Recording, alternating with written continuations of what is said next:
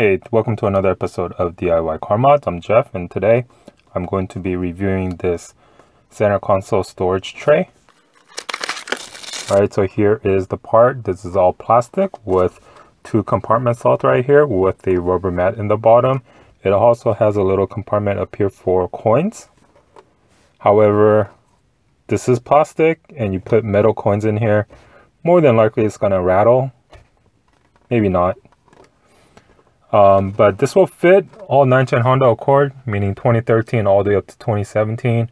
Most likely it'll fit the 2018 as well. We all have the same center console. It's the same one. So even though it is advertised to fit only 2015, 2016 sedan, this will fit the coupe as well. Again, 2013, 2014, 15, 16, 17, 18. LX all the way up to hybrid. We all have the same center console, so this will fit. Here I have a 2013 coupe.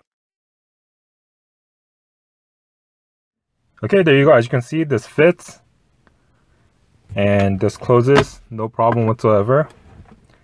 However, if you do use the charge port that's in here, or if you have the USB port, it doesn't matter because you can always buy the shorter USB um, cards that will fit into the slot.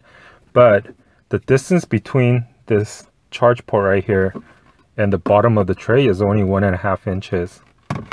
And so if you're using something like this to charge your phone, it won't work because when you close it and you route the wires through here, it won't close because this is that thing is too long and you can't close this. To solve that problem, you would have to purchase a very small USB charger adapter that goes in here and then even when you do that you'll notice that when you put this in one side will have a little gap right here. But it does have a gap but you can still go ahead and close it.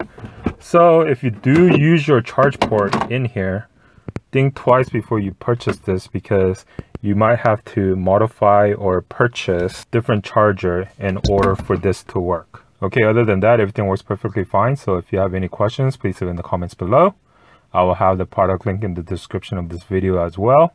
And also don't forget to follow me on social media, Facebook and Instagram, where I do giveaways. And as always, thanks for watching. Please like, share, and subscribe for more videos. Thank you.